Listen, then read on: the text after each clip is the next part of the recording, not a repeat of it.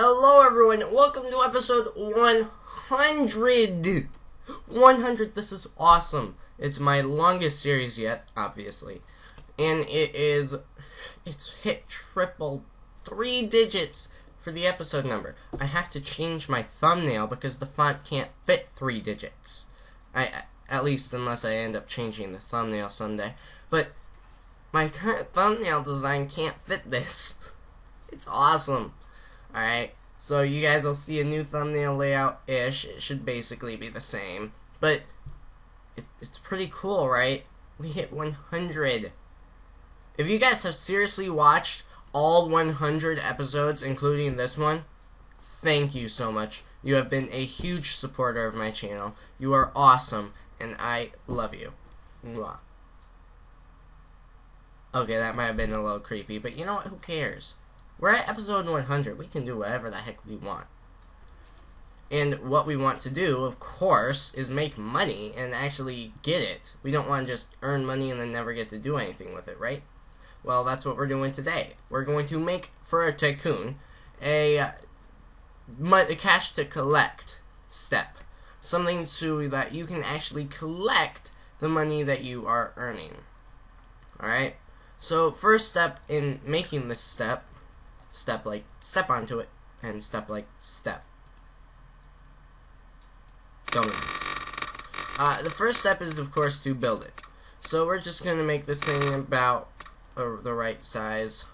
That looks about right. It really, it, there's no science to it necessarily. Uh, just do whatever you want. Now this is not going to be purchased. These things are typically just they're necessary to the tycoon, and you don't buy it typically. I mean, you could if you wanted to, but I've never seen a tycoon that made you do that.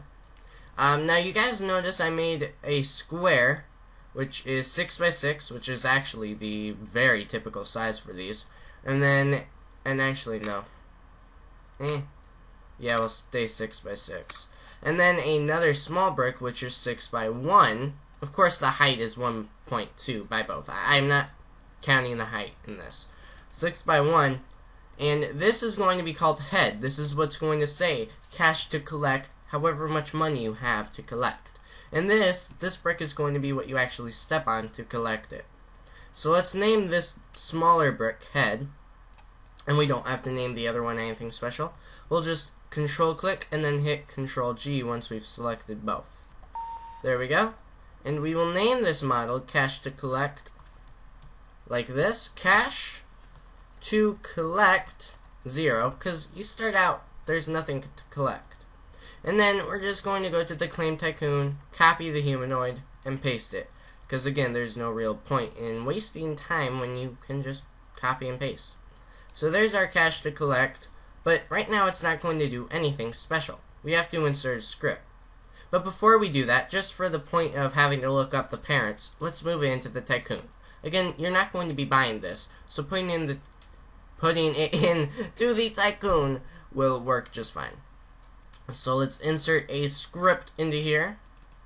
And this script is going to start out with, it's basically just going to have two handlers for two different events on two different objects. One will be actually stepping on part, and that gives you the money. The other will be every time money to collect changes its value so that it can update its name.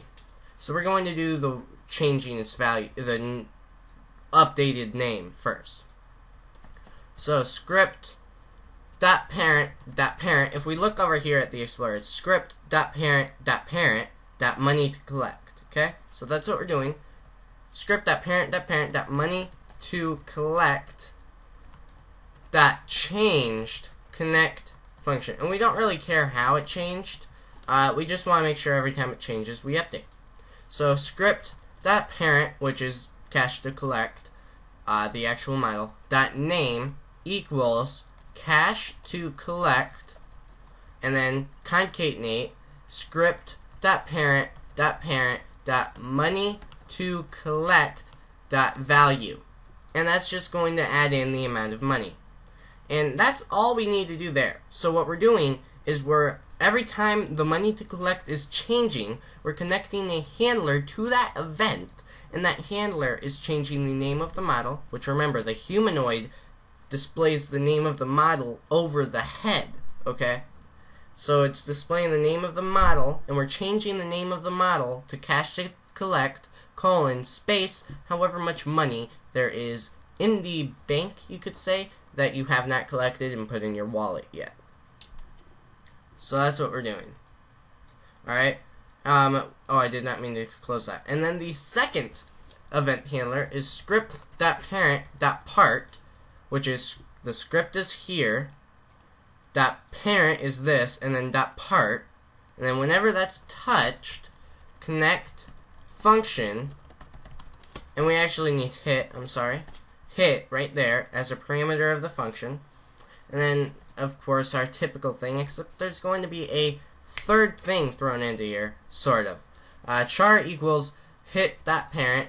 If char find first child humanoid and game that players get player from ah from character char and actually we need that to be capitalized just because that's what I've done throughout most of the series I think so I'll keep it the same. It really didn't matter. Uh, then and of course we'll just copy this because I don't feel like typing it out. Then player equals game that players get player from character char. And then if player that name equals script that parent remember we're in the cash to collect that parent that's the tycoon that owner name that value then player that leader stats that money that value equals and we'll just copy this. No actually won't. Player that leader stats the current value of money that money that value. The current we're setting the current value of the money to the or we're setting the value of the money to the current value plus script that parent that parent that money to collect that value. All right and then we're doing script that parent that parent that money to collect that value equals zero because we don't want people just always collecting it and never actually losing that money in the bank when they get put into their wallet we want them to actually lose that money there because otherwise they just have an endless flow of income that they can just keep jumping on the brick and become rich no matter how many droppers they have. Alright? So now that we have that, we're going to test it by pressing F7. And yes, this is episode 100. I, I can't believe it. It it boggles my mind as my nose itches right at the tip. That's that's not normal. Maybe I'm allergic to 100. Who knows? Alright, now we're going to press Alt F7 as we don't have an error in the output. I'm not going to slide you guys down there though because uh, it's not really necessary. Just take my word for it. We're going to keep sliding around here in server.rx. Alright, it looks like it's almost loaded. There we go. Take the Tycoon. Alright, now we don't have enough money to buy this wall, right? And cash to collect has zero in it, right? Okay, that's everything. Everything's working correctly. Alright. Now I'm going to walk and I'm going to touch this dropper, but I want you guys to watch cash to collect. Alright, I've bought it. One, two, three, four, five. Alright, so at our rate, it's going to take 50 seconds for us to be able to buy that wall. Well, that's why we can tinker with the value of these bricks every time they hit the catch or disappear. And that's what we're going to work on in just a couple seconds. But first, we just want to see if it works. We're going to do that once it hits 50, so we can also just, you know, double check that wall, double check the pricing, because we haven't bought anything that wasn't free yet. So, you might, you want to try and check and test everything you can until you are 180% certain that it works. Because there's always going to be that one time, that one time that you test it, and then the other times it's not going to work. Alright, it's almost there. It's almost there. OCDers, be happy. We got spot on. And now we're going to buy. Boom! Everything worked. It reset the value. We got the money. We spent the money. It worked. Everything is awesome here. Alright. Thank you guys for watching. Don't forget to, to subscribe. Oh, wait.